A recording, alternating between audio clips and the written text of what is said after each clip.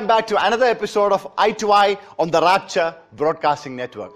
Eye to Eye, as most of you know, is a program where interviewing anointed men of God from all over the world who be used mightily by the Lord in a supernatural way. Today also we have a couple here, uh, anointed couple who been used mightily, and their journey, their story is interesting. As we know in Isaiah 55 8, it says, For my thoughts are not your thoughts, and my ways are not your ways, the Lord. As it said നമ്മുടെ നമ്മൾ ഈ വചനത്തിൽ പറയുന്ന പോലെ ഇഷയ fifty five eighty പറയുന്ന പോലെ നമ്മുടെ വഴികളല്ല ദൈവത്തിന്റെ വഴികൾ നമ്മുടെ ചിന്തകളല്ല ദൈവത്തിന്റെ ചിന്തകൾ. നമ്മളെല്ലാം പലരും നമ്മൾ പലരും ദൈവത്തിന് വേണ്ടി വൻ കാര്യങ്ങൾ ചെയ്യാൻ ആഗ്രഹിക്കുന്ന വ്യക്തികളാണ്. പക്ഷെങ്കിൽ നമ്മുടെ ആഗ്രഹങ്ങൾ ദൈവം നടത്തി തരണമെന്ന് നമ്മുടെ ഉദ്ദേശങ്ങൾ. എന്ന് വെച്ചാൽ നമ്മൾ എന്ത് പ്ലാൻ ചെയ്യുന്ന അതിനോടുകൂടി ദൈവം നിൽക്കണമെന്നാണ് പറയുന്നത്. പക്ഷെ ദൈവത്തിന്റെ പദ്ധതി എന്താണെന്ന് എപ്പോഴും ദൈവത്തോട് നമ്മൾ ചോദിച്ചിട്ടുണ്ടോ? ദൈവത്തിന്റെ പദ്ധതി അനുസരിച്ച് നമുക്ക് നടക്കാൻ നമ്മൾ ശ്രമിച്ചിട്ടുണ്ടോ?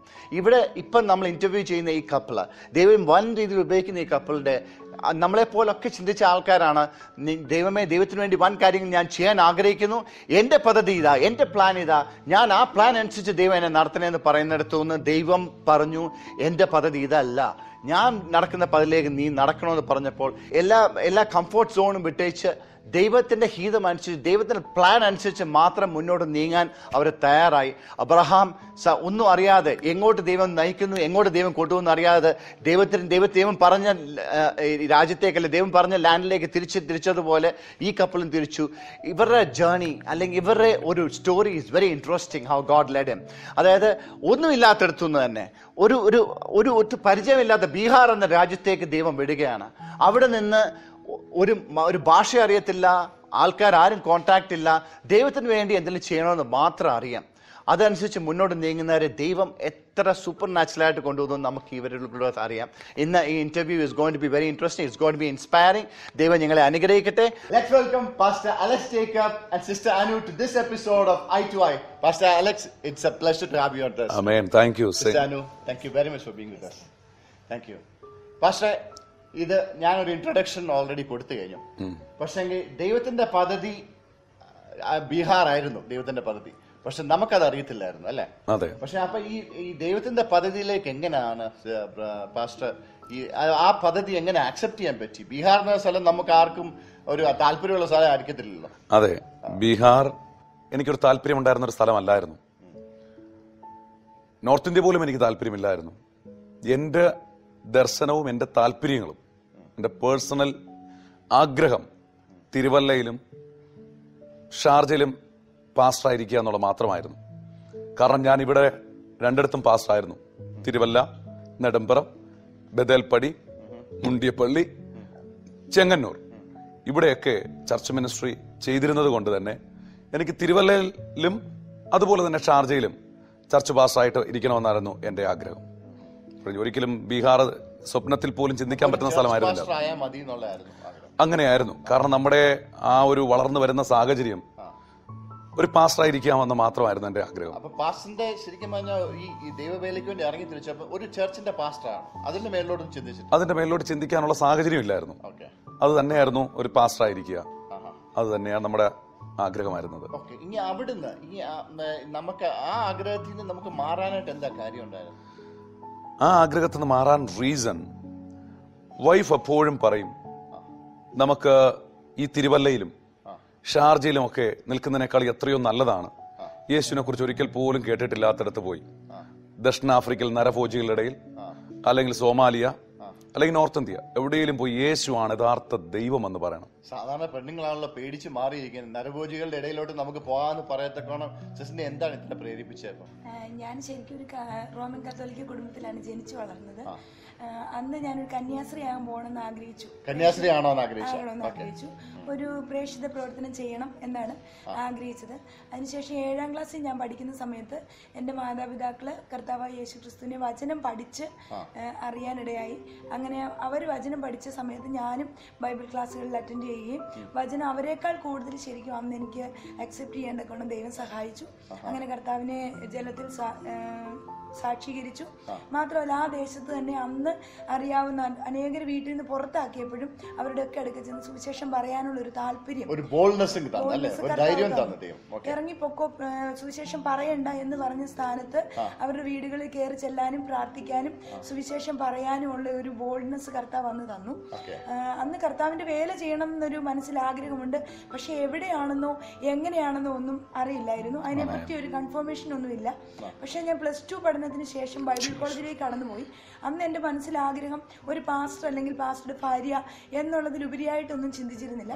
പക്ഷെ ആദ്യത്തെ ആ ഗോൾ നടന്നു. പാസ്റ്ററിന്റെ ഭാര്യ സാധിച്ചു. പക്ഷെ അവിടെ ആകുമ്പോൾ ഈ പാസ്റ്റിന് ഇത്രത്തോളം ബലം കൊടുക്കാൻ നരഭോജികളുടെ ഇടയ്ക്ക് നമുക്ക് പോകാം നമുക്ക് ദൈവത്തെ അറിയാത്തവരുടെ അടുത്ത് പോവാം. ഈ നമ്മുടെ ഈ കംഫോർട്ട് സോൺ അല്ലെ നമ്മുടെ സുഖ സൗകര്യങ്ങളെല്ലാം വിട്ടേച്ച് അങ്ങോട്ട് പോകണമെന്ന് പറയത്തക്കോണം അത്രയ്ക്ക് ഒരു ബോൾഡ്നെസ് എങ്ങനെ കിട്ടി? എന്തെങ്കിലും ഒരു ഹിസ്റ്ററി ഉണ്ടോ അതിന് പറയാം അതെ. അവിടെ ബൈബിൾ കോളേജിൽ ഇങ്ങനെയെന്ന് ഞാൻ സാധാരണ പ്രാർത്ഥിക്കും കരഞ്ഞ് പ്രാർത്ഥിക്കാറുണ്ട്. അങ്ങനെ എനിക്ക് ഒരു ദിവസം ഒരു ന്യൂസ്ലെറ്റ് വായിച്ചു. അതിനകത്ത് ഒരു വൃദ്ധയായ ഒരു സ്ത്രീയെ വസ്ത്രം ധരിക്കാനില്ല ആഹാരം കൊടുക്കാൻ ഒരു പ്ലേറ്റ് ഇങ്ങനെ അടുത്ത് കിടക്കുന്ന ഒരു ചിത്രം കൊടുത്തിട്ട് ഇങ്ങനെയുള്ള പാവങ്ങളുടെ അടുക്കൽ ആർ പോകും എന്നൊരു സ്റ്റേറ്റ്മെന്റ് എന്നെ വളരെയധികം ചിന്തിപ്പിച്ചു. എന്റെ മനസ്സിലേക്ക് അത് സ്ട്രൈക്ക് ചെയ്തു. അന്ന് ഞാൻ ദൈവത്തോട് കരഞ്ഞു പ്രാർത്ഥിച്ചു കർത്താവെ ഇപ്രകാരം ആരും പോകാൻ ഇഷ്ടപ്പെടാത്ത ആരും സ്നേഹിക്കാനില്ലാത്ത ഒരു കൂട്ടം ജനത്തിന്റെ അടുക്കിലേക്ക് കർത്താവ് എന്നെ അയക്കണമേ അതിനുവേണ്ടി എന്നെ ഉപയോഗിക്കണമേ എന്ന് ഞാൻ അന്ന് എന്റെ ഹൃദയ ഹൃദയം ടച്ച് ചെയ്ത് പ്രാർത്ഥിക്കാനും അതിനുവേണ്ടി എന്നെ സമർപ്പിക്കാനും ഇടയായി തീർന്നു അങ്ങനെയാണ് ശരിക്കും അന്ന് തൊട്ടുള്ള എന്റെ പ്രാർത്ഥനയുടെ നമ്മുടെയൊക്കെ നന്മകൾക്ക് വേണ്ടി നമ്മുടെയൊക്കെ സന്തോഷത്തിന് വേണ്ടി പല സ്ത്രീകളും പ്രാർത്ഥിക്കുന്ന സമയത്ത് സിസ്റ്ററിന്റെ പ്രാർത്ഥന അതായിരുന്നു. അതായിരുന്നു. ശരിക്കും അങ്ങനെ ഒരു പ്രേക്ഷിത പ്രവർത്തനം ചെയ്യണം. അത് പക്ഷെ എവിടെയാണെന്നൊന്നും അറിയില്ലായിരുന്നു. നോർത്ത് ഇന്ത്യ പോകണം അല്ലെ ഹിന്ദി പഠിക്കണം എന്നൊന്നും അന്ന് ചിന്തിച്ചിരുന്നില്ല. കാരണം ഹിന്ദിക്ക് ഒരു പ്രാധാന്യം കൊടുക്കുകയോ നിഘണ്ടുവിലില്ലായിരുന്നു അങ്ങനെയൊന്നും ചിന്തിച്ചിട്ടില്ല. പക്ഷേ ആരും സ്നേഹിക്കാത്തില്ലാത്ത ഒരു കൂട്ടം ജനത്തിന്റെ അടുക്കൽ. ആരും കടന്നു പോകാൻ ഇഷ്ടപ്പെടാത്ത ഒരു സ്ഥലം. പക്ഷെ ആ സ്ഥലം എവിടെയാണെന്ന് അറിയില്ലായിരുന്നു. പിന്നീട് ഞങ്ങൾ ബീഹാറിൽ ചെന്നതിന് ശേഷമാണ് മനസ്സിലായത് ഈ ദേശത്ത് ആരും വരാൻ ഇഷ്ടപ്പെടുന്നില്ല ഭയപ്പെടുന്ന ഒരു ദേശമാണ് എന്ന് പിന്നീടാണ് മനസ്സിലായത്. അത് അന്ന് graveyard of the of the evangelist പറഞ്ഞപ്പെടുന്നത്. മിഷണറിമാരുടെ ശവപ്പറമ്പ് എന്നറിയപ്പെടുന്നു പക്ഷെ പോകുന്നതിന് മുമ്പ് അതൊന്നും അറിയില്ലായിരുന്നു. അവിടെ ചെന്നതിന് ശേഷമാണ് അതൊക്കെ അറിഞ്ഞത്. അതൊക്കെ എക്സ്പീരിയൻസ് ചെയ്യാൻ സാധിച്ചു എക്സ്പീരിയൻസ് ചെയ്യാൻ ഓക്കെ സിസ്റ്ററിന്റെ അടുത്ത് അങ്ങനെ ഒരു ഇത് വന്നു. അപ്പൊ പാസ്റ്റർ ആക്സെപ്റ്റ് ചെയ്തോ? നമുക്ക് വേറെ എവിടെയെങ്കിലും പോകാന്നുള്ള ഇത് വന്നപ്പോ. അല്ല ഞാൻ- ഞാൻ ഏതെങ്കിലും ഒരു പ്രയാസം മിനിസ്ട്രി ലെവലിൽ ഒരു വല്ലാത്തൊരു വിഷമമൊക്കെ വരുമ്പോഴത്തേക്ക് എപ്പോഴും പറയും അച്ഛാ നമുക്ക് ഇതുപോലെ യേശുവിനെ കുറിച്ച് അറിഞ്ഞിട്ടില്ലാത്തടത്ത് പോകാം യേശുവാണ് യഥാർത്ഥ ദൈവം എന്ന് പറയണം. ഞാൻ പറഞ്ഞു മേലാൽ എന്നോട് ഇങ്ങനെയുള്ള വിഷയങ്ങൾ പറയരുത്. കാരണം എന്റെ ദർശനം തിരുവല്ലയും ഷാർജയും മാത്രമാണ്. എനിക്ക് അക്സെപ്റ്റ് ചെയ്യാൻ പറ്റത്തില്ലായിരുന്നു. കാരണം ഞാൻ രണ്ടായിരത്തി മൂന്നിൽ എം ഡിന് പഠിച്ചുകൊണ്ടിരിക്കുമ്പോൾ ഞാൻ ബീഹാറിൽ പോയിട്ടുണ്ട്. അന്ന് എന്നെ സെമീലി എന്ന് പറഞ്ഞൊരു ഗ്രാമത്തിൽ കൊണ്ട് പ്ലേസ് ചെയ്തു. അവിടുത്തെ ഫുഡ് അവിടുത്തെ വെള്ളം അവിടുത്തെ ക്ലൈമറ്റ് ഒന്നും എനിക്ക് അല്പം പോലും പിടിക്കത്തില്ലായിരുന്നു. ഞാൻ ആകെ അങ്ങ് നിരാശനായി. ഞാൻ അവിടെ നിന്ന് തിരിച്ചു വരുമ്പോഴത്തേക്ക് ഒരു മാസത്തെ മിനിസ്ട്രി ഫീൽഡിലെ പ്രവർത്തനം കഴിഞ്ഞു. ഒരു മാസം തികച്ചു വേറെ സ്ഥലത്ത് തികച്ചു. കാരണം അവിടെ തികയ്ക്കാൻ പറ്റത്തില്ലായിരുന്നു. അതുപോലെ ബുദ്ധിമുട്ടായിരുന്നു. ഫുഡൊക്കെ വളരെ മോശമായിരുന്നു. ഫുഡ് വളരെ മോശമായിരുന്നു. കടുകെണ്ണയിൽ ചാലിച്ച് മഞ്ഞപ്പൊടിയിൽ മിക്സ് ചെയ്ത് കുറച്ച് ചോറും കത്രിക്ക നാലായിട്ട് കട്ട് ചെയ്ത കറിയും അവർ തരുന്നേ? അത് ഞാൻ കഴിച്ച് പരിചയമില്ല. അപ്പോൾ അവിടുത്തെ വെള്ളം നാറ്റമുള്ള വെള്ളമാണ് മൂക്ക് ഇങ്ങനെ പിടിച്ചിട്ട് ഒറ്റ ട്രിപ്പിൽ വെള്ളം കുടിച്ചിട്ടാണ് ശ്വാസം വിടുന്നത്. അപ്പോൾ വെള്ളവും കുടിക്കാൻ കഴിയത്തില്ല ആഹാരവും കഴിക്കാൻ കഴിയത്തില്ല. ഞാൻ പറഞ്ഞു എനിക്കിവിടെ നിൽക്കാൻ പറ്റത്തില്ല. മൂന്നാൽ ദിവസമൊക്കെ ആയപ്പോഴും ഞാൻ ആകെ തളർന്നു. നിൽക്കാൻ പറ്റുന്നില്ല. മൂന്ന് ദിവസം കൂടുമ്പോൾ അരമണിക്കൂറേ കറണ്ട് കിട്ടത്തുള്ളൂ. അപ്പൊ ഞാൻ ഇത് രണ്ടായിരത്തി മൂന്ന് രണ്ടായിരത്തി മൂന്ന് അങ്ങനെ ഞാൻ എന്നെ കൊണ്ടുപോയ സാറിനോട് ഞാൻ പറഞ്ഞു സാറേ ഞാൻ ഇവിടെ മട്ട് പോകുക അന്നേരം എന്നെ സാർ ഒത്തിരി ഉപദേശിച്ചു. അലക്സ് ഇവിടെ നിൽക്കാൻ മനസ്സ് കാണിച്ചാൽ അനേക ആയിരങ്ങളെ ദൈവരാജ്യത്തിന് വേണ്ടി നേടാം. കാരണം ആരും സ്നേഹിക്കാനില്ല. കരുതാനില്ല. ഇങ്ങനെ ഒരു ജനത്തിനിടയിലേക്ക് യേശുവിന്റെ സ്നേഹവും യേശുവിന്റെ കരുതലും പറഞ്ഞു കൊടുത്താൽ അനേക ആയിരങ്ങൾ യേശുവാണ് യഥാർത്ഥ ദൈവം എന്ന് ഗ്രഹിക്കും. പക്ഷെ എനിക്ക് അവിടെ നിൽക്കാൻ പറ്റുന്നില്ല. അങ്ങനെ ഞാൻ പറഞ്ഞു എന്നാൽ പിന്നെ ആരെങ്കിലും മലയാളികളുള്ള സ്ഥലത്തേക്ക് മാറ്റണം. അങ്ങനെ എന്നെ കട്ടിയാറെന്ന് പറഞ്ഞ സ്ഥലത്തേക്ക് മാറ്റി.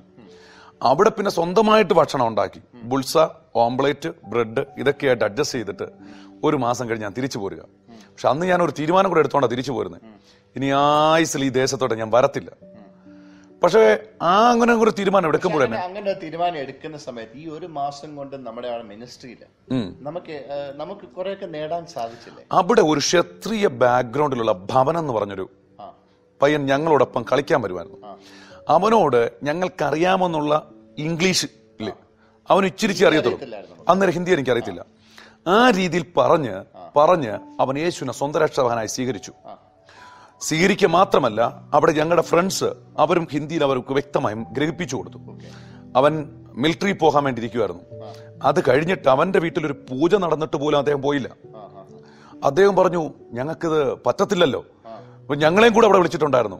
അവരുടെ വീട്ടുകാർ ഞങ്ങൾക്ക് തന്ന ഭക്ഷണ ഭക്ഷണം തന്നപ്പോൾ അവൻ പറഞ്ഞു സാറേ നിങ്ങളിത് കഴിക്കണം. നിങ്ങൾ വഴിയെ പോകുമ്പോൾ കളഞ്ഞേര്. പക്ഷെ അത്രമാത്രം അവന്റെ ഉള്ളിൽ ഒരു മാറ്റമുണ്ടായി.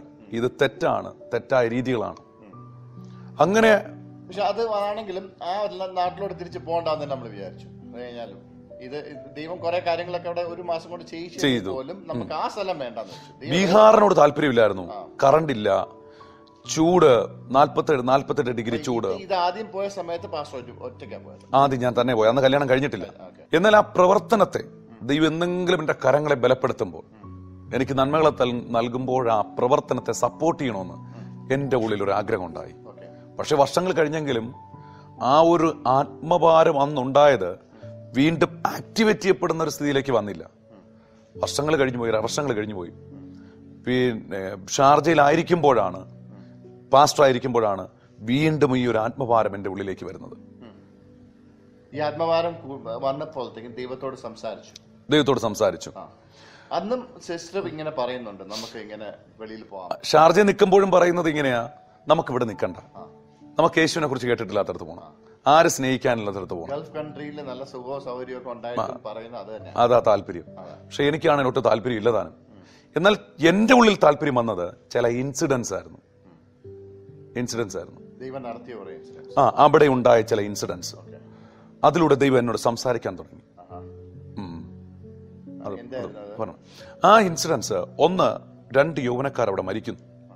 ഒന്ന് ഒരു വ്യക്തി ഹാർട്ട് അറ്റാക്ക് ആയിട്ട് ഒരു വ്യക്തി ആക്സിഡന്റ് ആയിട്ട്. ചെറുപ്പക്കാരെ ചെറുപ്പക്കാരായിട്ട്. മുപ്പത്തിമൂന്ന് മുപ്പത്തഞ്ച് വയസ്സേ ഉള്ളൂ.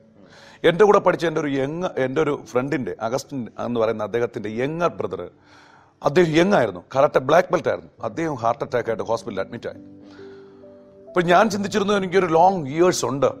ഒരു എഴുപത് എൺപത് വർഷം എന്റെ മുന്നിലുണ്ട്. ഇത്രയും വർഷം കൊണ്ട് എനിക്കൊരു ബിസിനസ് തുടങ്ങണം. എനിക്ക് കിട്ടുന്ന നന്മ കൊണ്ട് മറ്റുള്ളവരെ ഹെൽപ്പ് ചെയ്യണം. അന്ന് ഉണ്ടായ ഒരു ആ നോർത്ത് ഇന്ത്യയിൽ അല്ലെങ്കിൽ ബീഹാറിനെ സപ്പോർട്ട് ചെയ്യണമെന്നുള്ള ആ ചിന്ത എനിക്കുണ്ടായി. ദൈവം എന്തെങ്കിലും എന്റെ കയ്യിൽ നന്മ തരുമ്പോൾ. എന്നാൽ എന്റെ സാഹചര്യങ്ങൾ അതിന് അനുകൂലമല്ലായിരുന്നു. പക്ഷേ ഈ ഇൻസിഡൻസ് എന്നെ ഒന്നുകൂടെ ഒന്ന് ചിന്തിപ്പിക്കാനിടയായി. ഒരു ദിവസം ഞാൻ ശാന്തമായി ഉറങ്ങാൻ കിടക്കുന്ന സമയത്ത് ദൈവത്തിന്റെ ആത്മാവിനോട് സംസാരിക്കുക. അലക്സേ നീ ഒരു നാൾ മരിക്കും. നീ മരിക്കുമ്പോൾ ദൂതന്മാരുടെ മുമ്പാകെ വിശുദ്ധന്മാരുടെ മുമ്പാകെ നിനക്ക് പ്രശംസിക്കാൻ എന്തുണ്ട്? അപ്പോൾ ഞാൻ ഈ ചെയ്യുന്നത് പൂർണമായിട്ടും വിശ്വാസികളുടെ മാത്രമാണ്. പക്ഷെ ദൈവത്തിന്റെ ആത്മാവ് എന്നോട് ഇടപെടുകയാണ് നൂറാടുള്ള ഒരുവൻ നിൽ ഒരെണ്ണം നഷ്ടപ്പെട്ടപ്പോൾ തൊണ്ണൂറ്റി ഒൻപതിനെ മരുഭൂമിയിലിട്ടിട്ട് ആ നഷ്ടപ്പെട്ട ഒന്നിന്റെ പിന്നാലെ പോയി. അപ്പോൾ യേശുവിന്റെ പ്രയോറിറ്റി നഷ്ടപ്പെട്ട ഒന്നായിരുന്നു. ആ നഷ്ടപ്പെട്ട ഒന്നിനെ തിരിച്ച് കണ്ടെത്തി കൊണ്ടുവന്നപ്പോഴത്തേക്ക് സ്വർഗം സന്തോഷിച്ചു. അത് എന്നെ വീണ്ടും ചിന്തിപ്പിക്കുകയാണ്. അപ്പോൾ നഷ്ടപ്പെട്ട ഒന്നിനെ തിരിച്ചു കിട്ടുമ്പോൾ സ്വർഗം സന്തോഷിക്കും. അപ്പോൾ സ്വർഗത്തിന്റെ സന്തോഷം എന്റെ സന്തോഷമാകണം. എന്റെ സന്തോഷം സ്വർഗത്തിന്റെ സന്തോഷമാകണം. ഇതായിരുന്നു എന്റെ ആഗ്രഹം. അങ്ങനെയാണ് ഞാൻ അവസാനമായി തീരുമാനിക്കുന്നത്. മരിക്കുന്നതിന് മുമ്പ് എനിക്ക് ആത്മാക്കളെ നേടണം. മരിക്കുന്നതിന് മുമ്പ് ആത്മാക്കളെ നേടണം. ഇതിനിടയ്ക്ക് പാസ്റ്റിന് ഒരു ഒരു ഒരു അസുഖം എന്തോ പിടിപെട്ടിരുന്നു ഞാൻ എനിക്കൊരു അസുഖം ഉണ്ടായി.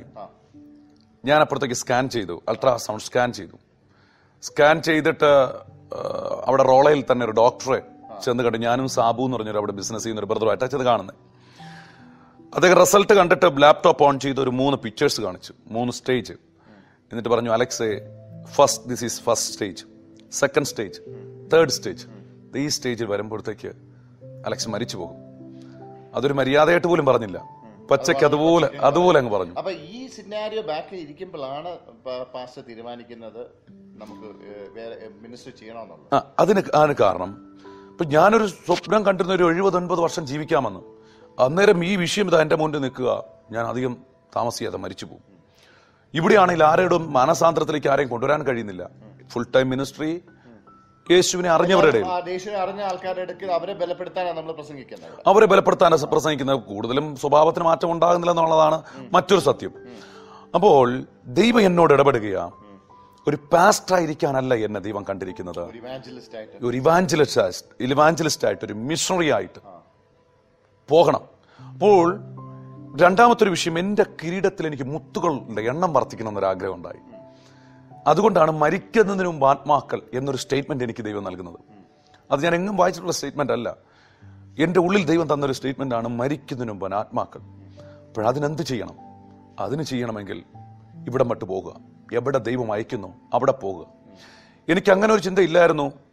അല്ലെങ്കിൽ ഇവിടെ ഷാർജയോ തിരുവല്ലയോ ഒക്കെ വിട്ടു പോകുക എന്നുള്ളത്. എന്നാൽ അന്ന് തീരുമാനിക്കുക അതുവരെ ഞാൻ പ്രാർത്ഥിച്ച എന്റെ പേഴ്സണൽ ആവശ്യങ്ങൾക്ക് വേണ്ടിയാണ് എനിക്ക് കർത്താവ് നല്ലൊരു ചർച്ച ഉണ്ടാക്കണം. അത് പല ചർച്ചിലും പോകുന്ന വിശ്വാസികളെ കൂട്ടിയ ചർച്ച ഉണ്ടാക്കുന്നത്. ഈ രോഗം അതിനൊരു കാരണമായിരുന്നു. രോഗം ദൈവം തന്നത് അതിന്റെ ഒരു റീസൺ തന്നെയാണ് അതിൽ അത് വരാതിരുന്നെങ്കിൽ ഞാൻ ഇങ്ങനെ ഒരു തീരുമാനത്തിലേക്ക് വരത്തില്ലായിരുന്നു. കാരണം എനിക്ക് ലോങ് ടൈം ഉണ്ടല്ലോ എന്നുള്ള ചിന്ത വന്നേനെ. അങ്ങനെ ഒരു ചിന്തയില്ല ഞാൻ പോകുന്നത്. നമ്മളെ ദൈവം ചില നടത്തുന്ന ആ പദ്ധതിയിലേക്ക് എത്തിക്കാനായിരിക്കും അല്ലേ? ദൈവം മുൻപും പിൻപും അടച്ച് യഹോബയുടെ കരം ഭാരമായിരുന്നു ദൈവം ചില മുഖാന്തരങ്ങൾ ഒരുക്കും. ചില ദൈവമക്കളുടെ ജീവിതത്തിൽ ഞാൻ ഇപ്പോൾ ഈ ഈ ഇപ്പോൾ ഞാൻ പറയാൻ ആഗ്രഹിക്കുന്നത് നിങ്ങളുടെ ജീവിതത്തിൽ ഏതെങ്കിലും തരത്തിലുള്ള വേദനയോ പ്രയാസമോ നിങ്ങൾ എന്ത് ചെയ്താലും നിങ്ങൾക്ക് മുന്നേറാൻ കഴിയുന്നില്ല എന്ന് തോന്നിയാൽ മറക്കണ്ട. ദൈവം നിങ്ങളൊരു പ്രത്യേക ശുശ്രൂഷയ്ക്കായി തിരഞ്ഞെടുത്തിരിക്കുന്നു. ഒരു പ്രത്യേക ദൗത്യത്തിനായി. അത് മറക്കരുത്. അതിനെ തിരിച്ചറിഞ്ഞ് അതിനനുസരിച്ച് പ്രതികരിച്ചാൽ നമ്മൾ പോലും അറിയാതെ ദൈവത്തിന്റെ വൻ അത്ഭുതങ്ങൾ കാണാൻ കഴിയും. പക്ഷെ അതിനെ തിരിച്ചറിയാനുള്ളതായ ഒരു മനോഭാവം നമുക്ക് ആദ്യം ഉണ്ടാകണം.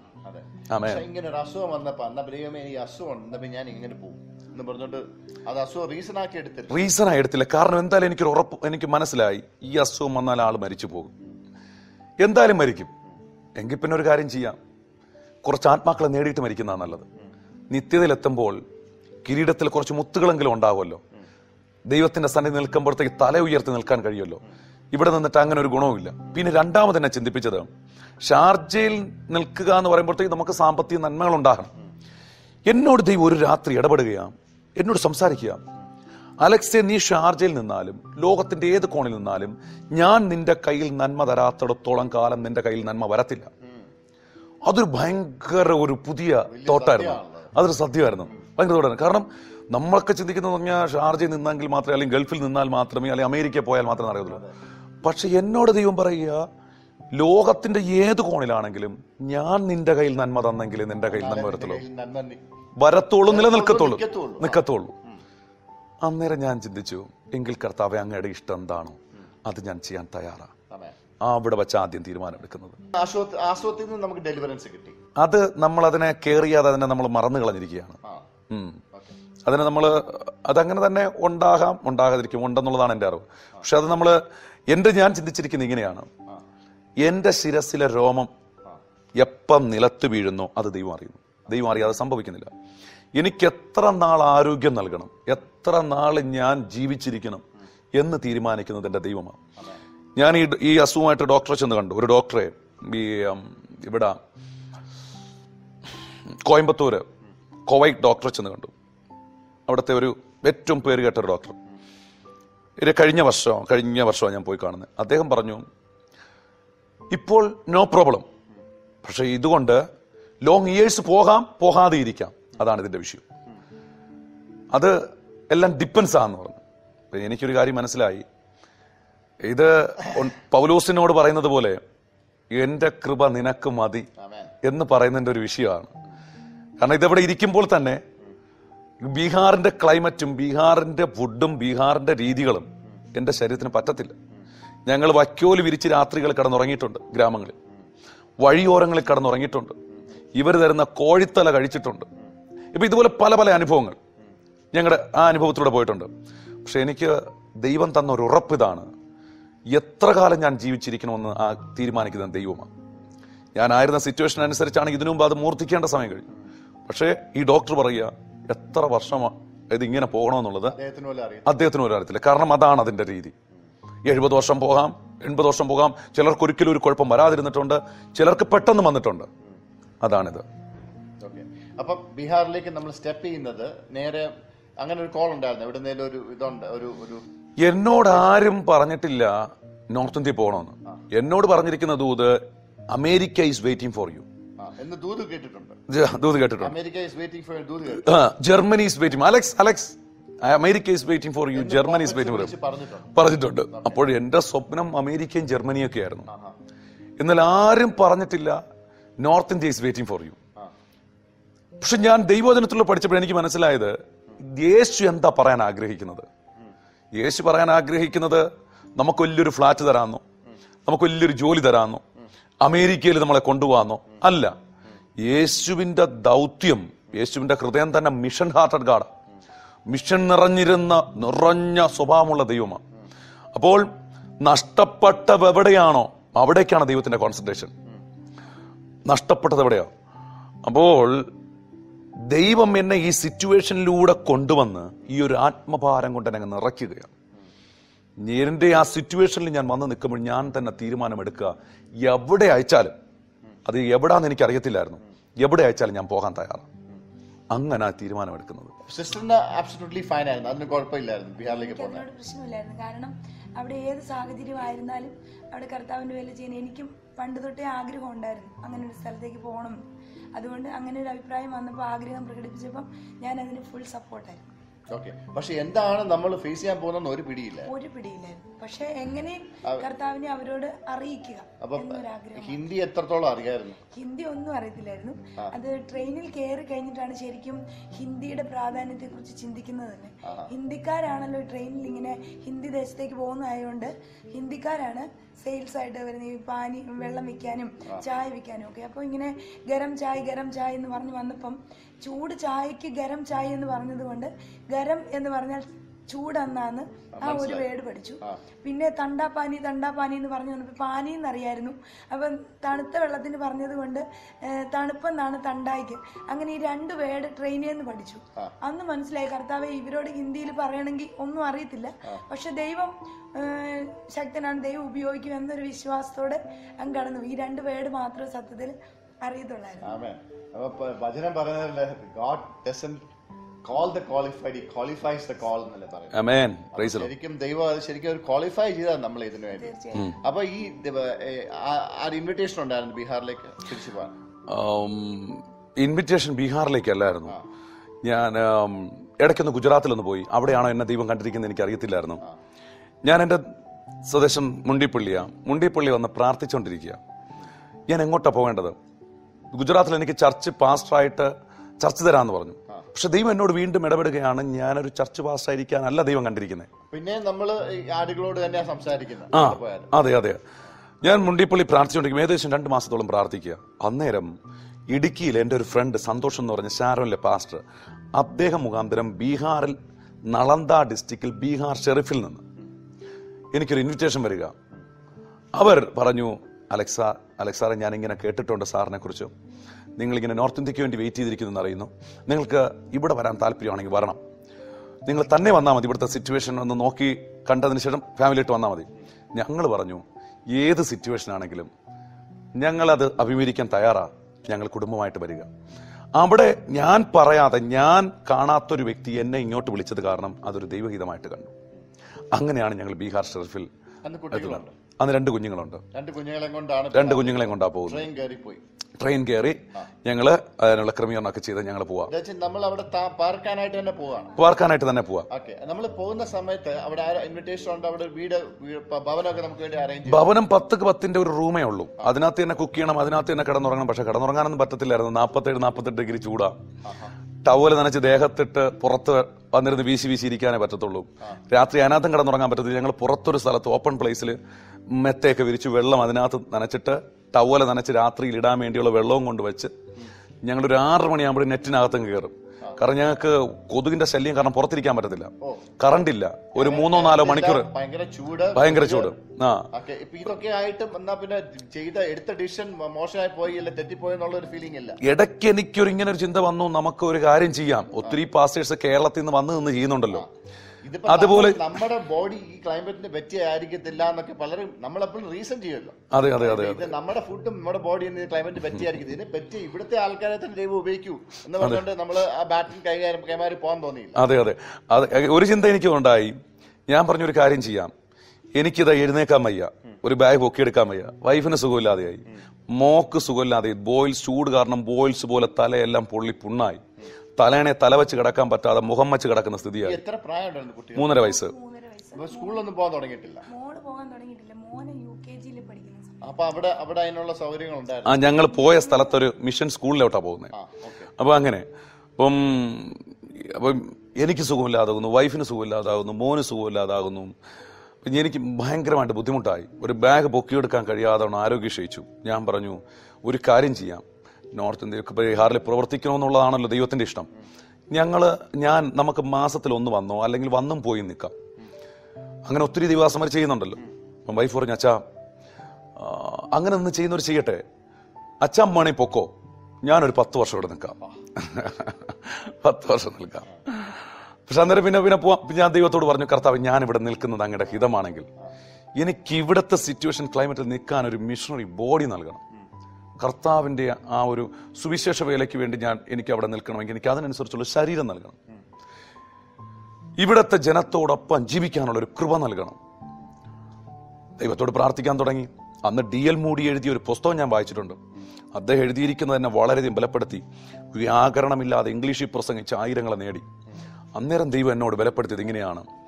നമ്മുടെ ഭാഷയല്ല ദൈവത്തിന് ഭാഷയുടെ വൈപുണ്യമല്ല വേണ്ടത്. നമ്മുടെ സാമർഥ്യമല്ല വേണ്ടത്. നമ്മുടെ നോളജ് അല്ല ദൈവത്തിന് വേണ്ടത്. ദൈവനാമത്തിന് വേണ്ടി നിൽക്കാൻ ഒരു മനസ്സ് കാണിച്ചാൽ നമ്മുടെ നാവ് ദൈവത്തിന്റെ നാവായി മാറും.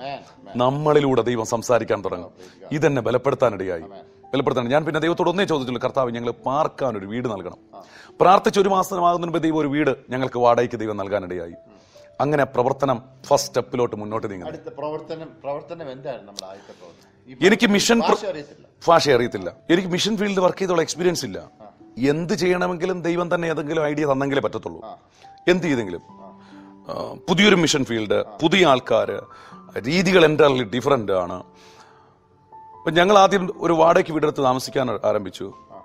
എന്റെ ഞങ്ങളെ ഞങ്ങളുടെ കേരളത്തിലെ ആരോ ഇവിടെ താമസിക്കുന്നതെന്ന് ആരോ പറഞ്ഞിട്ട് ആരാന്നിപ്പോഴും ഞങ്ങൾക്ക് അറിയത്തില്ല ഒരു യൗവനക്കാരൻ പിന്റു ഞങ്ങളുടെ വീട്ടിൽ വന്നു. അവൻ ഇച്ചിരി ഇംഗ്ലീഷ് അറിയാം. അവൻ ഇംഗ്ലീഷിൽ സംസാരിക്കാം. പക്ഷെ ഞാൻ വീട് തുറന്നു കൊടുത്തില്ല. ഞാൻ- പറഞ്ഞു ഞാൻ കെ. പി. അനാൻ സാറിന്റെ ബൈബിൾ കോളേജ് പഠിച്ചിട്ടുണ്ട്. ഞാൻ കോളേജിൽ പഠിച്ചപ്പോഴത്തേക്ക് ട്രാക്റ്റ് വായിച്ച രക്ഷിക്കപ്പെട്ടത്. അപ്പോൾ ഇത് ശ്രദ്ധിക്കുന്ന ദൈവമക്കളെ നിങ്ങളൊരു ട്രാക്റ്റ് കൊടുത്താൽ പോലും അത് വായിക്കുന്നവന് യേശുവിനെ അറിയാൻ ഇടയാകുമെന്ന് മറക്കരുത്. ട്രാക്റ്റിലൂടെ പോലും പ്രവർത്തിക്കുന്ന ദൈവശക്തിയാണ് ഈ ദൈവത്തിന്റെ അത്ഭുത ശക്തി എന്ന് പറയുന്നത്. പ്രൈസലം അവൻ അങ്ങനെ അവിടെ വന്നു. ഞാൻ ഇവൻ ഇതൊക്കെ പറഞ്ഞപ്പോൾ ഞാൻ മനസ്സ് എനിക്ക് മനസ്സിലായി.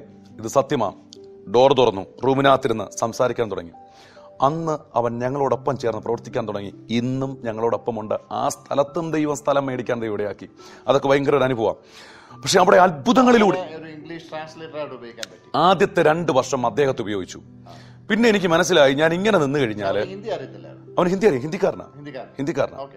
പക്ഷെ അവന്റെ വീട്ടിൽ ആരും രക്ഷിക്കപ്പെട്ടവരില്ലായിരുന്നു. ഗ്രാമത്തിൽ ആരും ഇല്ലായിരുന്നു അവൻ അവൻ പോലും കല്യാണം കഴിച്ചത് യേശുവിനെ അറിയാത്തൊരു സ്ത്രീയാണ് കാരണം അതാണെന്ന് അവിടുത്തെ സിറ്റുവേഷൻ പിന്നെയാ നമ്മൾ അവിടെ നിരന്തരം മീറ്റിംഗ് നടത്തി യേശുവിനെ അവർ അറിയാനിടയായത് അപ്പോൾ അത്ഭുതങ്ങളിലൂടെയാണ് അവിടെ ദൈവത്തിന്റെ പ്രവൃത്തി ആരംഭിക്കുന്നത്.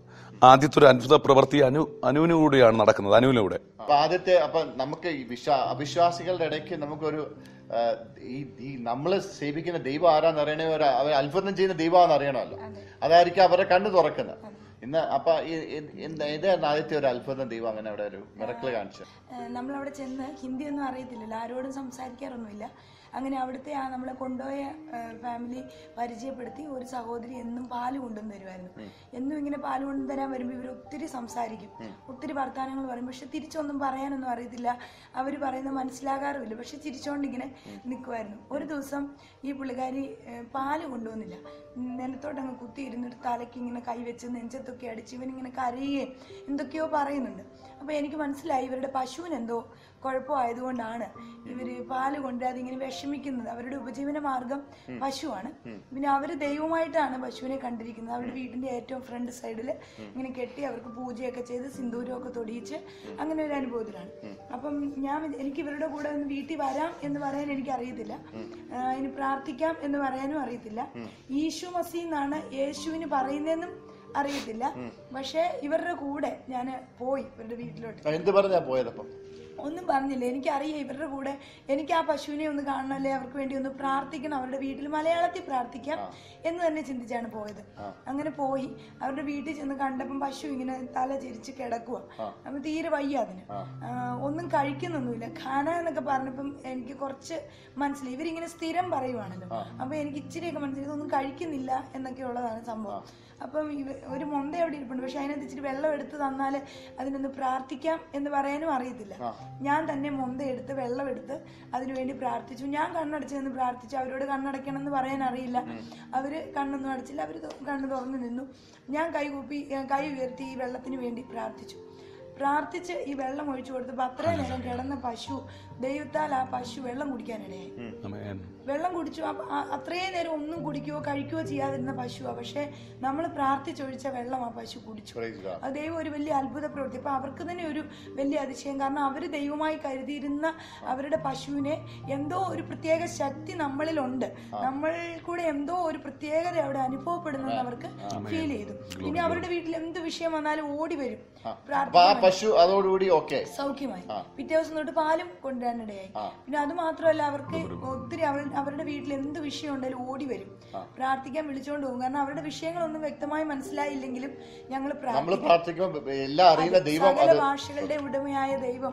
അത്ഭുതങ്ങളാലും അടയാളങ്ങളാലും ഞാൻ വചനത്തെ ഉറപ്പിക്കാമെന്ന് പറഞ്ഞ ദൈവം കൂടെ ഇരുന്ന് ഒന്നുകൂടെ ഞങ്ങളുടെ വിശ്വാസത്തെ വർദ്ധിപ്പിക്കാനും ഒന്നുകൂടെ സുവിശേഷ വേലയിൽ വ്യാപൃതരാകാനും അതൊരു മുഖാന്തരമായി തീർന്നു.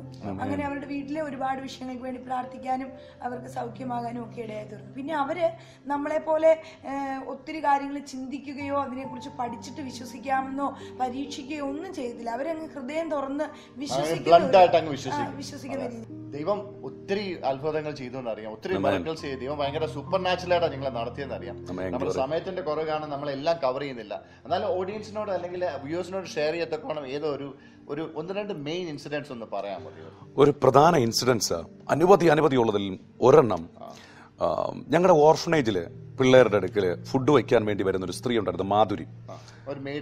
മെയ്ഡായിട്ട് വന്ന നാൽപ്പത്തി മൂന്ന് പിള്ളേരുണ്ട് ഞങ്ങളുടെ ഓർഫനേജിൽ അപ്പോൾ അവിടെ ഫുഡ് വയ്ക്കാൻ വന്ന സ്ത്രീ ഒരു ദിവസം രാവിലെ വന്നിട്ട് വൈഫിനോടും അവിടെ ഉണ്ടായിരുന്ന രണ്ടു മൂന്ന് സഹോദരിമാരോടും പറയുക മേധം മേധം മേര ഹാത്ത് കോ ബഹുത്ത് ഡറത്ത് എന്റെ കൈക്ക് ഭയങ്കര വേദന എടുക്കുക ഞാൻ ഒത്തിരി ഡോക്ടറെ ചെന്ന് കണ്ടു ഒത്തിരി മരുന്ന് കഴിച്ചു ഇഞ്ചക്ഷൻ എടുത്തു എനിക്ക് സുഖമാകുന്നില്ല. അപ്പം വൈഫ് പറഞ്ഞു ഓക്കെ ഞങ്ങൾ ആരാധിക്കുന്ന ഒരു യേശുണ്ട് യേശുവിനോട് പ്രാർത്ഥിച്ചാൽ സുഖമാകുന്നു. ഉണ്ട് ഒത്തിരി ഉണ്ട്. അപ്പോൾ അവരതെല്ലാം ചെയ്തിട്ട് പൂജയൊക്കെ ചെയ്തു എന്നിട്ട് സൗഖ്യമായില്ല. അപ്പം പറഞ്ഞു നമ്മൾ പ്രാർത്ഥിക്കുന്ന ഒരു യേശു ഉണ്ട് ആ യേശുവിനോട് പ്രാർത്ഥിച്ചാൽ സൗഖ്യമാകും. അതിന് ആ സ്ത്രീ പറഞ്ഞു മാതിരി പറഞ്ഞു ഞങ്ങൾക്ക് അറിയത്തില്ല എന്ന് പറഞ്ഞു. നിനക്കറിയണമെന്നൊന്നുമില്ല. നീ കണ്ണടച്ച് നിൽക്കുക ഞങ്ങളിപ്പോൾ പ്രാർത്ഥിക്കാം. അന്നേരം അവിടെ ആ ഓഫീസിൻ ഓഫീസിൽ നിന്ന് തന്നെ കൈയുടെ ഇവിടെ കൈവച്ച് യേശു ക്രിസ്തുവിന്റെ നാമത്തിൽ കർത്താവെ അങ്ങാണ് ജീവിക്കുന്ന ദൈവമെന്ന് അങ്ങനെയുടെ അത്ഭുതം നടക്കുമെന്നും ഇവർ വിശ്വസിക്കേണ്ടതിനും ഗ്രഹിക്കേണ്ടതിനും ഈ കൈയുടെ വേദന ഒന്ന് മാറ്റിക്കൊടുക്കണേ അപ്പാ എന്ന് പ്രാർത്ഥിച്ചു. ഒത്തിരി നേരം പ്രാർത്ഥിച്ചു. അത്രയും പ്രാർത്ഥിച്ച് യേശുവിന്റെ രക്തം കൊണ്ട് മുദ്രയിട്ട് പ്രാർത്ഥിച്ച് അവരെ വിടുക. പക്ഷെ വൈകുന്നേരമായിട്ട് അവരുടെ കൈയുടെ വേദന മാറിയില്ല. പിറ്റേന്ന് രാവിലെ സന്തോഷത്തോടെ ഓടി വരിക. മേധം മേധം മേധം മേര ഹാത്ത് കോ പൂര ठीक हुआ അന്നേരം ആം, ആപ്കാ യേശു മസി മേര ഹാത്ത് കോ ചങ്കായി ദിയ ആ നിങ്ങളുടെ യേശു ആ, എന്റെ കൈക്ക് സുഖം തന്നു വൈഫ് പറഞ്ഞു എന്റെ യേശു മാത്രമല്ല നിന്റെയും കൂടെ യേശുവാ അതുകൊണ്ടാണ് യേശു നിന്നെ സൗഖ്യമാക്കിയത് അത് കഴിഞ്ഞ് ഞങ്ങളൊരു ബൈബിൾ കൊടുത്തു നീ ഇത് വച്ചോ അവൾ പറഞ്ഞു എനിക്ക് വായിക്കാനൊന്നും അറിയത്തില്ല എങ്കിലും സാരമില്ല. നീ വച്ചോ. നിന്റെ തലയുടെ അടുക്ക് വെച്ച് അവിടെ വച്ചിരുന്നാൽ മതി. ഉറങ്ങണം. അതിനടുത്ത് കിടന്നുറങ്ങണം പക്ഷെ രാവിലെയും വൈകിട്ടും പ്രാർത്ഥിക്കാതെ കിടന്നുറങ്ങരുത്. അവൾ പറഞ്ഞു ടീക് ജി എന്ന് പറഞ്ഞു. അങ്ങനെ വീട്ടിൽ വിട്ടയച്ചു. ചില ദിവസങ്ങൾ കഴിഞ്ഞു. ചില മാസങ്ങൾ മുന്നോട്ട് പോയി. ഒരു ദിവസം ഈ ഈ മാധുരിക്ക് ശരീരത്തിൽ ഭയങ്കര ക്ഷീണം കാരണം പ്രാർത്ഥിക്കാതെ കിടന്നുറങ്ങേണ്ടി വന്നു. അന്ന് രാത്രി പുള്ളിക്കാരത്തി പറഞ്ഞ അനുഭവം എന്നെപ്പോലും വളരെയധികം ചലഞ്ച് ചെയ്യിപ്പിച്ചു ആരോ ഒരു വ്യക്തി ഈ സഹോദരിയെ പോയി തട്ടി വിളിക്കുക ഇങ്ങനെ തട്ടി വിളിക്കുക ഈ സഹോദരിക്ക് ഗ്രഹിക്കാൻ കഴിഞ്ഞില്ല മനസ്സിലാക്കാൻ കഴിഞ്ഞില്ല കാരണം ശരീരം തളർന്നു കിടന്ന കാരണം. വീണ്ടും പുള്ളിക്കാരത്തി പറഞ്ഞത് ഇങ്ങനെയാ അവിടെ കാലിൽ പോയിട്ടൊരു നുള്ളു കൊടുത്തു പിച്ചു കൊടുത്തു. ഈ നുള്ളിന്റെ വേദനയിൽ അവൾ ചാടി എഴുന്നേറ്റ് നോക്കിയപ്പോഴും റൂമിനകത്ത് വലിയൊരു വെളിച്ചം. എന്നിട്ട് ഈ വെളിച്ചത്തിൽ നിന്നൊരു ശബ്ദം മുടോ പ്രാർത്ഥനാക്കറോ ഇവിടെ ചാടി എഴുന്നേറ്റ് പ്രാർത്ഥിക്കുക. പ്രാർത്ഥിച്ചത് കഴിഞ്ഞിട്ട് പിറ്റേന്ന് രാവിലെ സ്കൂളിലേക്ക് ഓടി വരിക. ഓടി വന്നിട്ട് വൈഫിന്റെ അടുത്ത് വന്നിട്ട് പറയുക മതം മതം മാപ്ക ഈശുമസി മേര കമരക്കെ അന്തറാകയ ഞങ്ങൾ പറഞ്ഞു മേര സിർഫ് നെയ്യ ഞങ്ങളുടെ മാത്രമല്ല നിന്റെയും കൂടെ യേശ ആപ്കാവി ഹേ. എന്നിട്ട് പറഞ്ഞു നീ കണ്ട കാലം മുഴുവനും കണ്ട എല്ലാവരോടും പ്രാർത്ഥിച്ചു. എന്നിട്ട് ഇതുവരെ നീ ഇരിക്കുന്നിടത്ത് നിന്റെ റൂമിനകത്തോ നീ ഇരിക്കുന്നിടത്തോ ഒരു ദൈവം വന്നില്ല. എന്നാൽ യേശുവിനോട് പ്രാർത്ഥിക്കാൻ തുടങ്ങി ചില ദിവസങ്ങൾ കഴിഞ്ഞതേ ഉള്ളൂ. പക്ഷെ യേശുവാണ് യഥാർത്ഥ ദൈവമെന്ന് നിന്നെ ഗ്രഹിപ്പിക്കേണ്ടതിന് നിന്റെ റൂമിനകത്തേക്ക് ഇറങ്ങി വന്നു. അവൾ വീട്ടിൽ പോയിട്ട് പിന്നെ പലതും എടുത്തു കളഞ്ഞു. അങ്ങനെ ക്രിസ്തുവിന്റെ വചനം ഗ്രാമം ഗ്രാമാന്തരം തോറും ബീഹാറിന്റെ നാല് കോ നാല് കോണുകളിലേക്കും വ്യാപിക്കാൻ ദൈവം. Amen. ഏതൊരു പ്രവർത്തനം അവിടെ നമ്മൾ തുടങ്ങിയിട്ടുണ്ടോ അതിന്റെ പിന്നിൽ ഒരു ദൈവ പ്രവൃത്തി അത്ഭുതത്തിലൂടെ ഉണ്ട് നടന്നിട്ടുണ്ട്. അല്ല നടന്നിട്ടില്ല. അത് തീർച്ചയായിട്ടും ഇതുപോലെ ഒത്തിരി ഇൻസിഡൻസ് ഷെയർ ചെയ്യാൻ അറിയാം. പക്ഷേ ഞങ്ങൾ ഞമ്മളൊന്ന് അടുത്ത ലെവലിലേക്ക് പോവാണ്. ഈ പ്രത്യേകിച്ച് ഇങ്ങനെ പ്രത്യേകിച്ച് Bihar is the graveyard of missionaries എന്നൊക്കെ പറയുന്ന സ്ഥലത്ത് അയ്യോ അവിടുന്ന് ഓപ്പോസിഷൻസ് ഫേസ് ചെയ്യാൻ ഒത്തിരി അടുത്ത് ഒത്തിരി അടുത്ത്. ഒന്നും രണ്ടും മേഖലയിലല്ല. അതിൽ പ്രധാന ഒരു ഇൻസിഡൻസ് പറയാം. പലയിടത്തും. ഒരു ആർ എസ് എസിന്റെ നേതാവ് ഗൗതം സിംഗ് എന്ന് പറഞ്ഞ വ്യക്തി. പക്ഷെ അദ്ദേഹത്തോട് എനിക്ക് പിന്നെ അവസാന സുവിശേഷം പറയാൻ ദൈവം ഇടയാക്കി. അതുപോലെ പല മേഖലയിൽ പോലീസ് സ്റ്റേഷനിൽ എസ് ഐ ഇടുന്നെന്ന് വന്നു കേസ് വന്നു. അദ്ദേഹത്തോട് ഞാൻ പ്രാർത്ഥിച്ചുകൊണ്ട് പോയി. യേശുവാണ് യഥാർത്ഥ ദൈവമെന്ന് പൗലോസ് പറയുന്നത് പോലെ സ്ഥാപിക്കാനിടയായി. അതേ പറഞ്ഞു ഞാൻ സിബിളിൽ പഠിച്ചിട്ട് വായിച്ചിട്ടുണ്ടെന്ന് പറഞ്ഞു. പക്ഷെ അദ്ദേഹത്തോടും പറയാനിടയായി. അത് കഴിഞ്ഞ് മറ്റൊരിടത്ത് ബൊഹാറി എന്നൊരു ഗ്രാമത്തിൽ ആദ്യം ഇരുപത്തഞ്ച് പേര് സ്നാനപ്പെട്ടു. രണ്ടാമത്തെ സെഷൻ നാൽപ്പത്തിരണ്ട് പേര് സ്നാനപ്പെട്ടു. ആ സമയത്ത് അവിടുത്തെ ബാമൻ കാസ്റ്റ് ഫോർവേഡ് കാസ്റ്റുകാരാണ് പറഞ്ഞു ആ വണ്ടിയെ വരുന്നവർ ഇനി ഈ ഗ്രാമത്തിൽ വന്നാൽ അവരെ വണ്ടിയോടൊപ്പം ഞങ്ങൾ കത്തിച്ചു കളയുന്നു പറഞ്ഞു. ആ ഗ്രാമക്കാരോട് എല്ലാവരും പോയി ഭീഷണി മുഴക്കി. ഞങ്ങൾ ഏകദേശം ഒരു ഒന്നൊന്നര മാസത്തോളം പിന്നെ ആ ഗ്രാമത്തിൽ പോയില്ല. ഞാൻ പ്രാർത്ഥിച്ചുകൊണ്ടേയിരുന്നു. എന്നെ ദൈവം ബലപ്പെടുത്തിയ ചില വചനമുണ്ട്. സുവിശേഷത്തെക്കുറിച്ച് എനിക്ക് ലജ്ജയില്ല. എന്നെ ദൈവം പഠിപ്പിച്ചത് സുവിശേഷം പറയണമെങ്കിൽ ലജ്ജ പാടില്ല ഭയം പാടില്ല. ഇത് രണ്ടുമുള്ളവന് സുവിശേഷം പറയാൻ പറ്റത്തില്ല. എന്ന് പറഞ്ഞാൽ സ്കിൻ രജിസ്റ്റേർഡ് ആയിരിക്കണം. എങ്കിൽ മാത്രമേ എവിടെ നിന്ന് നമുക്ക് സുവിശേഷം പ്രസംഗിക്കാൻ പറ്റത്തുള്ളൂ? Blood of Jesus blood of Jesus അത് എന്നാൽ മാത്രമേ മാർക്കറ്റിലാണെങ്കിലും പുഴവക്കത്താണെങ്കിലും റോഡ് സൈഡിലാണെങ്കിലും ഏത് മേഖലയിലും സുവിശേഷം പറയണമെങ്കിൽ സ്കിൻ രജിസ്റ്റേർഡ് ആയിരിക്കണം. With the blood of Jesus ഭയം പാടില്ല. ഭയം ഉണ്ടെങ്കിൽ സുവിശേഷം പറയാൻ പറ്റത്തില്ല. അപ്പൊ ഞങ്ങൾ ഒരൊന്നര മാസം കഴിഞ്ഞ് പ്രാർത്ഥനയോടുകൂടി ആ ഗ്രാമത്തിൽ പോയി. ഒരു മീറ്റിംഗ് നടത്തി. ദോഹാറിദ് ഗ്രാമത്തിൽ. പ്രാർത്ഥന കഴിഞ്ഞ് പുറത്തിറങ്ങിയപ്പോഴത്തേക്ക് അതിലെ ആൾക്കാർ വന്നു. അവിടുത്തെ മിഷണറി വിജയകുമാറിനോട് പറഞ്ഞു ഏ കഹാഗ്രഹനെ രഹനെ വാല ഹൈ ക്യാക്കൽ ഇതറായ? ഭയങ്കരമായ ബഹളമായി. എനിക്ക് മനസ്സിലായി രംഗം മാറി മാറി പോവാ. ഞാൻ അടുത്ത് ഓടിപ്പോയിട്ട് ഞാൻ അദ്ദേഹത്തിന് ഒരു ഷേക്കന്റെ എടുത്തു ഒരു ഇങ്ങനെ. ഞാൻ ഒരു ഷേക്കന്റെ എടുത്തു എന്നിട്ട് ചിരിച്ച മുഖത്തോടു കൂടി അദ്ദേഹത്തെ ഞാൻ നോക്കി. ആദ്യം ഷേക്കന്റെ എടുത്തപ്പോഴത്തേക്കും ഷേക്കന്റെ തന്നില്ല. രണ്ടാമത് ഞാൻ ഷേക്കന്റെ കൊടുത്തു നേരെ ഷേക്കന്റെ എന്നിട്ട് ഞാൻ പറഞ്ഞു ആ ഈ ഗാവ് ക ബെഡാ മാലിക്. നീ ഗ്രാമത്തിലെ ബെഡാ മാലിക്ക യജമാനനാ. നീ വിചാരിച്ചാൽ മാത്രമേ ഇവിടത്തെ അൺപട് വെച്ചാക്കൂ ഇവിടത്തെ പാവപ്പെട്ട പിള്ളേർക്ക് പഠിക്കാൻ ഒരു മുഖാന്തരം ഒരുങ്ങത്തുള്ളൂ. ഇവിടെ സ്ഥലം ലഭിക്കത്തുള്ളൂ. ഇതിനൊക്കെ നീ വിചാരിക്കണം. ഇവൻ ദേഷ്യത്തോടെ ബലൂൺ പോലെ വീർത്തു വന്ന മനുഷ്യൻ.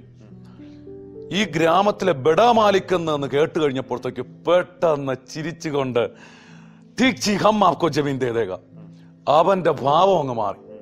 പരിശുദ്ധാത്മാവ് പറയുന്നത് അപ്പോഴപ്പോഴ് എവിടെയൊക്കെ എന്തൊക്കെ പറയണമെന്നുള്ളത്. തക്ക സമയത്ത് നടന്നാവലെ തരും. തക്ക സമയത്ത്. ഇതുപോലെ എല്ലാ അനുഭവത്തും. നമ്മൾ പ്രീ പ്ലാൻഡ് അല്ല. നമുക്കൊന്നും തിയററ്റിക്കൽ അല്ല അവിടെ. പ്രാക്ടിക്കലാണ് അന്നേരം അന്നേരമുള്ളത്. നമ്മുടെ നാവിന്മേൽ ദൈവം ഇങ്ങനെ തന്നുകൊണ്ടിരിക്കും. അങ്ങനെ ആര് കത്തിക്കുമെന്ന് പറഞ്ഞു. അവരെ കൊണ്ട് അവിടെ സ്ഥലം നൽകിച്ചു.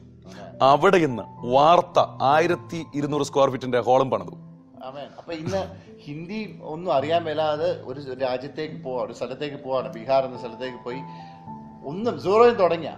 ഇന്ന് നമ്മൾ എവിടെ എത്തിയിട്ടുണ്ട്. ഇന്ന് നമുക്ക് നളന്ദ നവാദ ഗയ ഔറംഗബാദ് ജമ്മുയി ജാഹ്നാബാദ് ഭൗവ ഡിസ്ട്രിക്ട് ഈ സ്ഥലങ്ങളിലെല്ലാം ചർച്ചുകൾ എസ്റ്റാബ്ലിഷ് ചെയ്യാൻ ഇടയായി.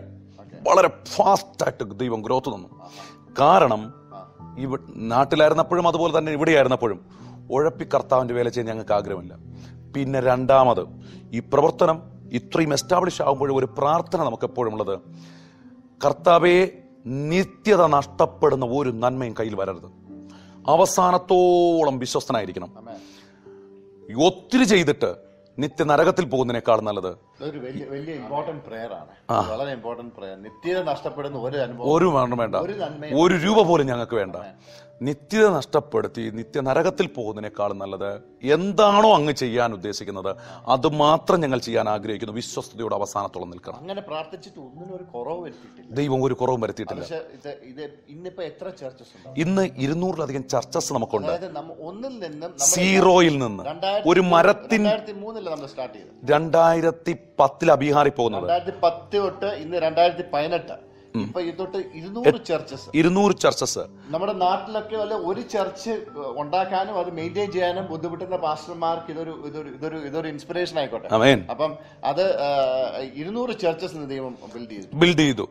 അടുത്ത ചർച്ചസ് എസ്റ്റാബ്ലിഷ് ചെയ്യാൻ തീപടിയാക്കി അവിടെ ഈ നളന്തയിലും നവാദയിലും ഗയായിലും ഔറംഗബാദും ജമ്മുയിലും അഞ്ചിടങ്ങളിൽ നമുക്ക് പതിനഞ്ചിലധികം സ്ഥലങ്ങളിൽ സ്ഥലം മേടിച്ച് ചർച്ച് പണിയാൻ തീമടിയാക്കി ചർച്ച് പണിയാൻ ഇടയാക്കി. അപ്പോൾ നമ്മുടെ ഒരു വിഷൻ രണ്ടായിരത്തി ഇരുപതിനാകുന്നതിന് മുമ്പ് അഞ്ഞൂറ് ഗ്രാമങ്ങളിൽ സുവിശേഷം എത്തണം. കാരണം നാൽപ്പത്തി ആറായിരം ഗ്രാമങ്ങൾ ബീഹാറിലുണ്ട്. പന്ത്രണ്ട് കോടിയോളം ജനമുണ്ട്. ഇതിൽ ഇരുപതിനായിരത്തിലധികം ഗ്രാമങ്ങളിൽ ഒരു സുവിശേഷ പ്രതി എത്തിയിട്ടില്ല. അപ്പോഴതുകൊണ്ടാണ് അപ്പോൾ അതുകൊണ്ടാണ് ഈ ഒരു ആത്മഭാരം നൽകിയിരിക്കുന്നത്. നൂറിലധികം ചർച്ചകൾ പണിയണം. അതുകൊണ്ട് ദൈവം എന്ത് തരുന്നോ അത് ആ ബീഹാറിന്റെ മണ്ണിൽ കൊണ്ടുപോയി ഉപയോഗിക്കുക. കാരണം അതാണ് നമ്മുടെ വിഷൻ. എന്നിട്ട് അവിടെ നമുക്ക് നൂറോളം മിഷണറിമാരുണ്ട്. പിന്നെ ബീഹാർ ബോർഡ് രജിസ്ട്രേഡ് ആയ ബീഹാർ സർക്കാർ രജിസ്ട്രേഡ് ആയ സ്കൂൾ ദൈവം നമുക്ക് നൽകി.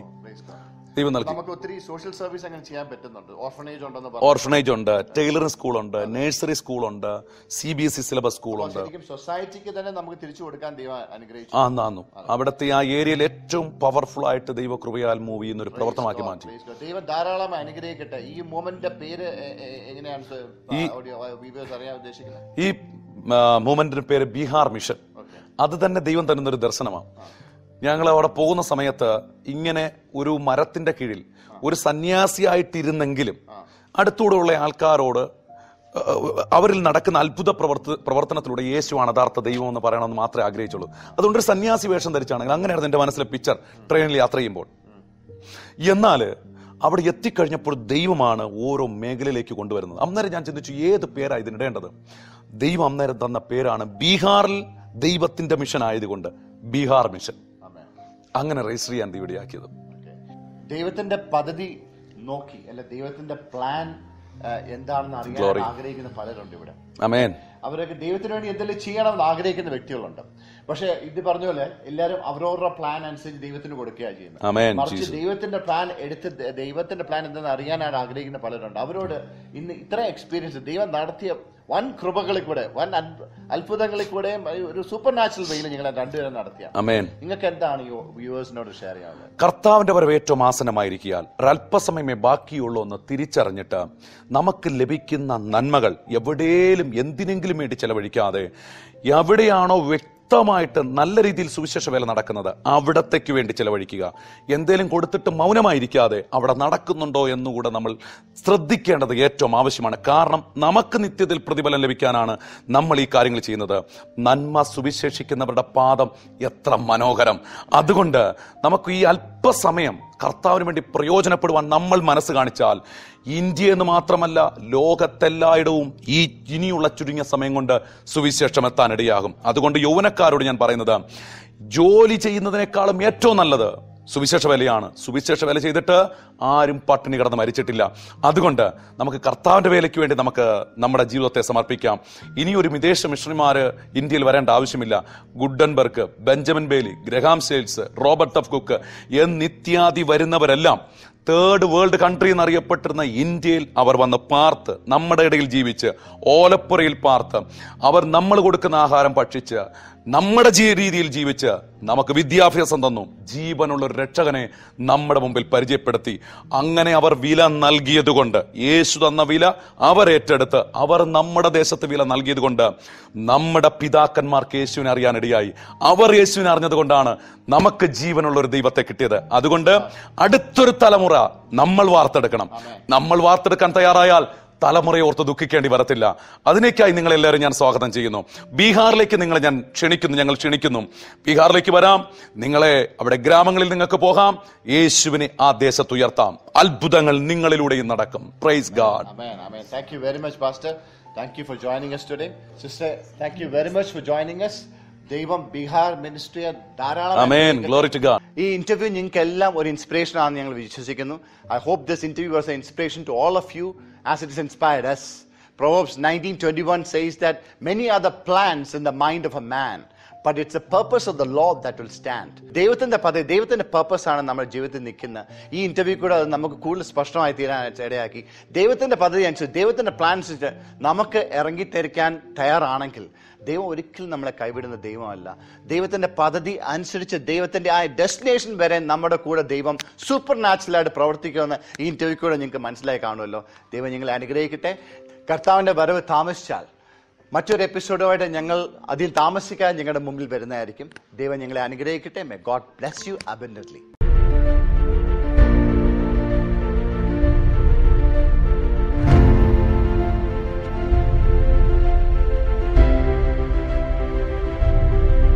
Rapture Broadcasting Network, RBN.